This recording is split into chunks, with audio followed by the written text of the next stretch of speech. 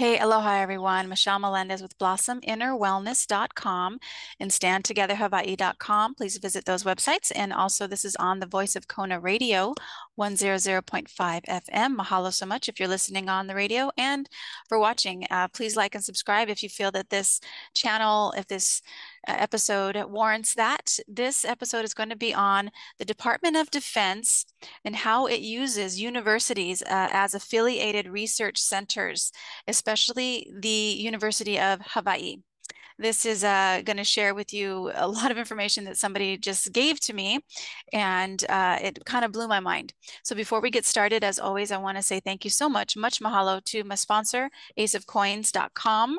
Again, if you need uh, help with your taxes, want to lower your taxes, want to eliminate eliminate your taxes lawfully, want to license your biometric data, which is your face, your image that's being used by big tech, Ace of Coins is the way to go. If you want to buy cryptocurrency and have it be tax free, go to aceofcoins.com, A C E O F C O I N S.com. Much mahalo.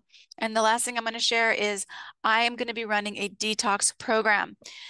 If you've been watching the skies, if you've been seeing the engineering that they're doing, if you've been, uh, if you understand that we are being basically bombarded with toxins in our food, in our air, in our water, and if you're having gut issues, please stand by and I will give you guys a link starting next week to a detox that not only cleanses your gut, heals your intestinal walls, uh, but it also helps you sleep better, gives you more energy because you're detoxing, you're cleansing out your system from toxins.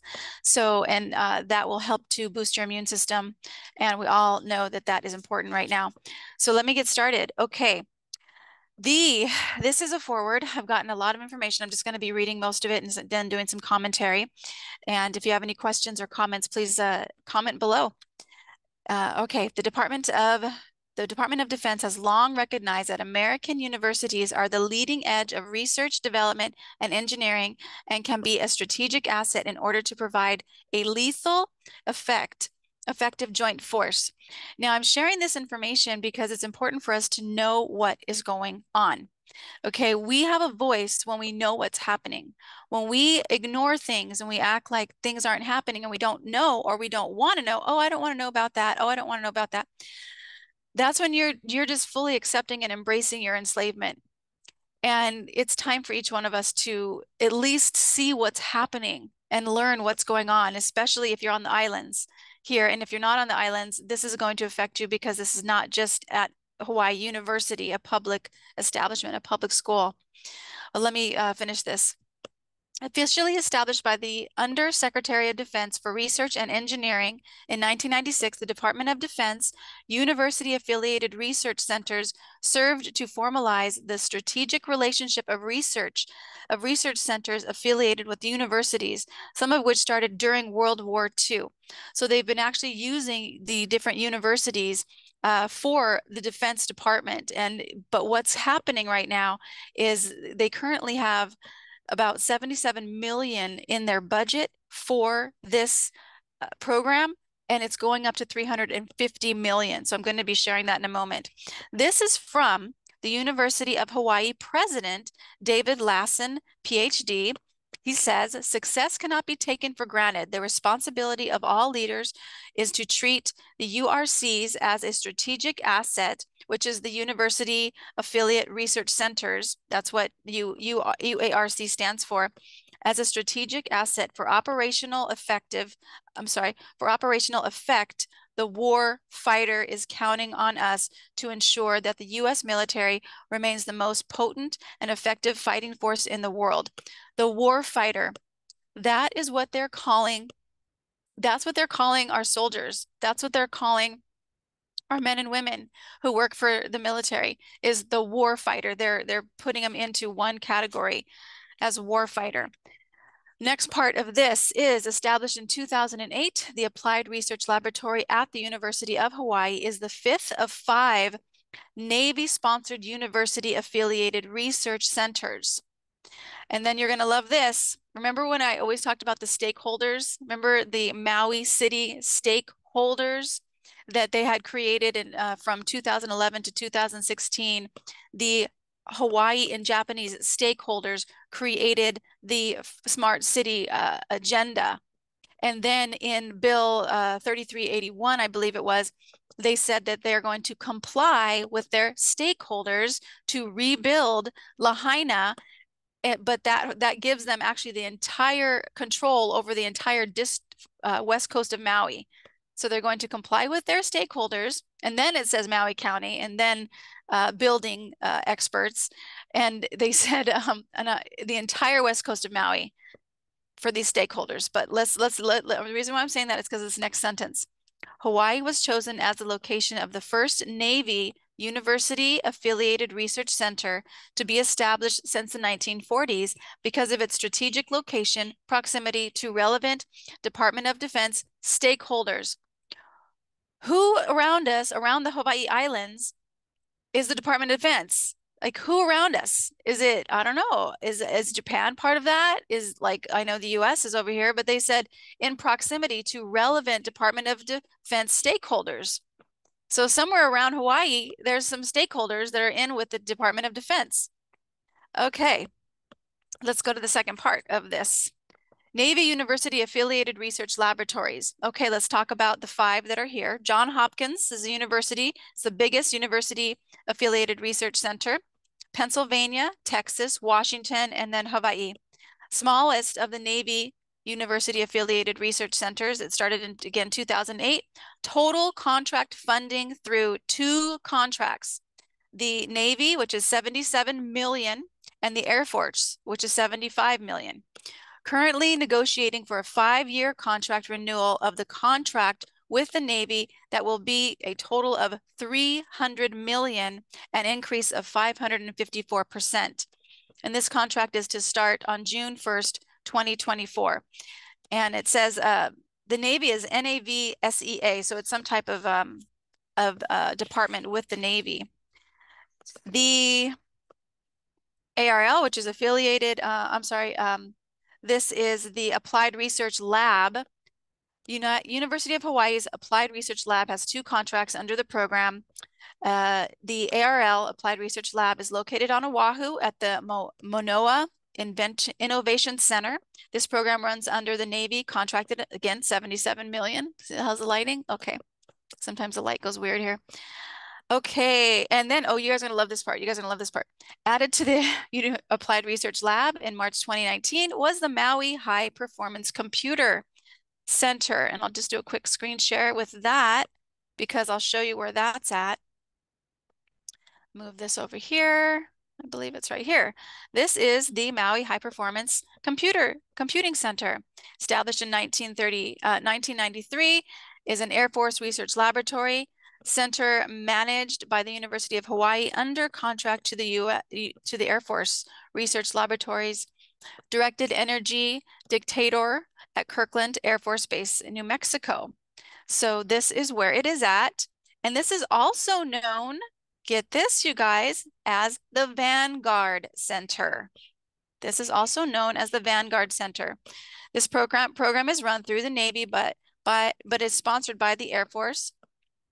The contract is currently at 75 million. 75 million, that's where it's at. And let me go to the next part of this. And this person, I did get this information from somebody who uh, is a uh, is a whistleblower around this information because this is pretty dang huge. High Performance Computing Center. This is Maui, and it is uh, one of five high performing high performance computer computing centers. Receives funding from both the Navy and Air Force contracts. Sixty four percent of total defense of Department of Defense funding. 64% of the Department of Defense funding goes to this. Let me say that again. 64%, that's what it says, the total Department of Defense funding goes toward this.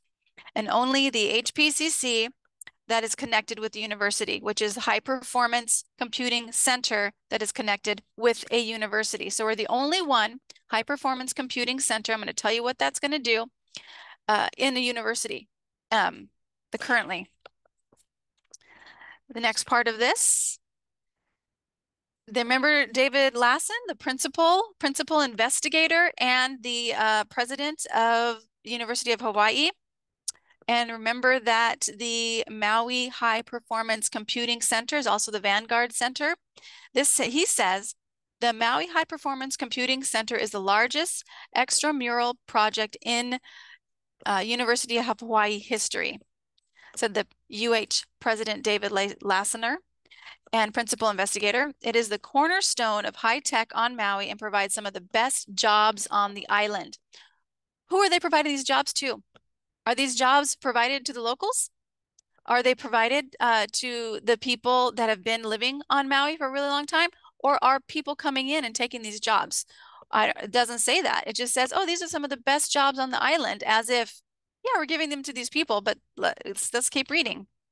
Total funding of the Maui High Performance Computing Center currently is 94,622,617 or 65% of the applied research laboratory funding.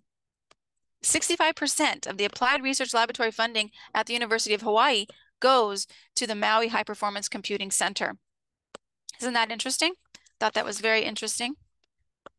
Number six. Okay, and this is questions regarding this. These are not my questions. This is from somebody who, who, who sent this to me. The only high-powered computing center that is connected to a higher education system uh, is at the University of Hawaii. And let's see here. The website does not mention. Okay, that that's let me change that. Okay. They say that it does not hire or offer computing training to the University of Hawaii's uh, students. So this is just for the Department of Defense is what they're is what they're saying here. The contract comes up in 2025 around the same time that David Lassner retires from his position as the president of the University of Hawaii. And why is its why it why is its funding coming through the University of Hawaii when it's mostly going toward the Defense Department? Isn't that interesting? I don't know. It's it mo if most of the funding is high security, why is it being funded through a public higher education institution? That's a really good question, I think. And let's go on to the next one. Sorry, guys, let's do the next page. Oh, these are these are the these are this is um just graphs that I see. But the future for the University of Hawaii for the Maui High Performance Computing Center Air Force contract from 2025 to 2030 is estimated to be $325 million, going from about 77 million to 325 million dollars. They also talk about how um, the work, the working environment is is not um, is biased uh, toward those who are working in this program versus the students that are at the university, and that is that is pretty disturbing. This whole thing is disturbing, but anyway, let's keep going. This is what the summary says from the person who sent this to me. Allowing the Department of Defense to fund research results, uh, to fund research results in deliverables from weaponry and is in support of current and future military actions. The majority of their actions do not benefit the public, rather only the military's mission of lethality. And they give a de definition for lethality, which I think we can all guess what that is but I'll, I'll share that in a moment. Uh, this directly contradiction, uh, contradiction, yeah, contradiction with the mission of the University of Hawaii. So let's look up what the mission of the University of Hawaii. So here's the mission for the University of Hawaii. The primary mission of the University of Hawaii is to provide environments in which faculty and students can discover, examine, critically preserve and transmit the knowledge, wisdom, and values that will help ensure the survival of the present, future, and future generations with improvement in the quality of life. Well, does having a humongous De Department of Defense program at the university, does that equal the uh, supporting life for the future generations? I don't know. What, what, what do you guys think? What do you guys think about that? Here's what he says. The new contracts with the Navy and Air Force will generate hundreds of millions of dollars. Is that more important than the actual mission that the University of Hawaii has to say? Interesting. And the oversight of these funds are at the sole discretion of the director of the University of Hawaii, uh, and their um, uh, ARLs, which stands for Applied Research Laboratory. So whoever is the director of the University of Hawaii and their applied research laboratories is the sole discretion of these millions of dollars. Isn't that interesting? So the last thing I want to share is the University Affiliated Research Center's strategy for 2020. Who else knows about 2020? Agenda 2020, President David Lassner. And I'm smiling because this part, it kind of cracks me up. Uh, but uh, it says the Department of Defense's long-term strategic relationship with the university affiliated research uh, companies requires the um, you guys sorry about that needed to have some water here okay Department of Defense's long-term strat strategic relationship with the university affiliated research centers requires the applied research laboratory at University of Hawaii to provide and maintain advanced and sophisticated engineering, research, and or development capabilities essential to the department's mission and operations. Now, this part is the funny part. Funny part. University affiliated research centers operate as independent, trusted advisors and honest brokers agreeing to limit their operations, agreeing to limit their operations in order to be free from real or perceived conflicts of interest. Isn't it interesting how they had to put trust and honest in the same sentence? And it's just like these independent operators who are trusted and they're honest and they're going to agree to limit their operations in order to be free from real or perceived conflict. So basically they're they're they're not they're going to limit working for other people so that they won't be in conflict, have a conflict of interest because, but we trust these people because they say it's trust, they, they're trusted advisors and they're honest. So, you know, we gotta, we gotta, we gotta, we gotta believe in that. This freedom enhances the department's ability to fight and win wars in an era of great power competition. And it will enable operators, these independent operators who are trustworthy and honest, and military decision makers to harness leading edge capabilities to capitalize on strategic and tactical opportunities that are currently unavailable. Yeah, let's capitalize on going to war because that's what freedom's all about.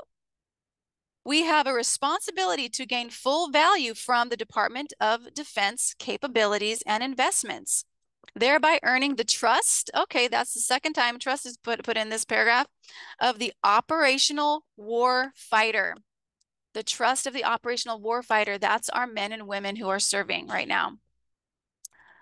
Thereby earning the trust of the operational war fighter, all one one being. What what is that? Um, that was just like uh, the Nazis when they were the Homeland Security and one one motherland and one war fighter the US Congress, and the American people. Embrace, okay, embracing the university affiliated research center, strategic relationship, and leveraging the freedom to innovate will improve military operations and, inc and increase lethality. Lethality. So they leave the definition. Remember I said, here's the definition. The quality of state of causing death or destruction, deadly, fatal, or mortal. Who wants that definition in the University of Hawaii or any university? Lethality, to increase lethality. Let me just read this sentence one more time. Okay, I'll read it one more time. Embracing the University Affiliated Research Center strategic relationship and leveraging the freedom to innovate will improve military operations and increase lethality, which is the quality of state of causing death or destruction, deadly, fatal, and mortal. Wow, that's interesting. Let's read this last part and then let's do a quick massive prayer for this. To enable for this not to continue, but we're gonna, I gotta close the window here. Okay. To enable this continued relationship, the Applied Research Laboratory at the University of Hawaii is adopting a strategy to expand its center of excellence to address the war fighters' needs. That's one one being this war fighters' needs in this new era of great power competition. However, the success of these efforts depends upon fostering collaboration with our stakeholders, community, and our planet. I love how they put stakeholders first because what is uh, more important than the planet, everybody? They're stakeholders, you know, the people who are giving you money for death and destruction and uh, uh, fatal and mortal uh, death around the world. Yeah, because war is number one with this war fighter, right? So that's what's going down, everybody, at the University of Hawaii. And we we do have we can do some actions. I was asking my friend who gave this to me, I was like, what can we do? And she says in April, there's a committee of the University of Manoa, and they're going to be um, uh, they're going to be doing a, a meeting. So uh, we'll have a community to be able to, I think, to make some testimonies or something like that. Now we know that they aren't going to listen to us because they they are doing what they are doing. It's on a, it's an agenda, Agenda 2030, just like it said. UARC strategy, Agenda 2030, President David Lassner. Yeah, really appreciate that guy because he's a trusted advisor, an honest person. Yeah. So anyway, I'd love to hear your guys' opinions. Uh, if this spoke to you, please like, subscribe, and share and help uh, get this word out. We, we need to know what's going on. You need to see the demons before we can uh, obliterate them with our light. Okay. We got to see what's happening. And yeah, it feels like a lot. It feels like it keeps going. Take a deep breath, drop into nature, know that you are loved beyond measure. And just as the sun comes up and moves across the sky, it's giving you light because it's letting, allowing you to feel that warmth of love. The sun is constantly sending us warmth and it never asks for anything in return. I think that was Rumi, the poet Rumi was talking about that. And he said, you know, the, the sun never asks for anything in return after millions and millions of years of sending light and warmth to the planet. What a love, what kind of love is that? That's how much you're loved. That's how much you're loved. Let's do a quick prayer. Great Spirit, infinite intelligence of all things. This is quite the time right now. And we as little peon humans, sentient beings, really in these vessels that we only have for a short time are in quite the game. But Great Spirit, we just know that you are the one running the show. This is your this is your game. And we have chosen to come and we are trusting in you, Great Spirit, with moving through the inspiration that you guide us to do. Speak, say, take action in whatever way we can, even if it's simply sharing a video or smiling to somebody. We just know that this world can be a better place, Great Spirit. We know it can. We see the freedom and the peace that all people want for themselves and the safety that all people want for themselves and their children, for each other. And Great Spirit, we just are so grateful that you are showing us the way. We are so grateful that we get to watch as things unfold, as these evil people who don't care about life, they care about war, as they are peaceably removed from office or they voluntarily step down. We get to watch as that happens, Great Spirit. And through you, we are stronger and stronger every single day, trusting in the earth, trusting in the Aina, trusting in the ground underneath us, trusting in the hearts that are beating without us being plugged into a wall and our bodies that are breathing themselves. And that's through you, Great Spirit. Just as you run the tides in the ocean and move the stars, stars across the sky, you beat our hearts and breathe our bodies we trust in this game. We trust in our choice to be here and we trust in our kuleana, what is ours to do. And we know we are always guided and always protected. And we send this frequency and this vibrational frequency of peace and of hope to anybody around the world who needs it, who feels alone. We send it to anybody who's feeling hungry that their belly may be full. We send it to anybody who is feeling alone and feeling despair. We send them just a spark of hope that things can get better. And Great Spirit, we know that they can because we trust in you and we let it all go. We let it all go. We trust in you. And so it is. So sending you guys so much aloha from the big island of Hawaii.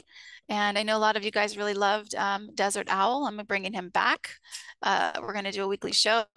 And um, I am going to interrupt him because somebody was just like, You're interrupting him. He's great at contact. You're interrupting him. I have a mission and I have a vision for, for what I want to share. And sometimes he has so much information, you guys, 52 years of information of ancient history. He can speak and speak and speak.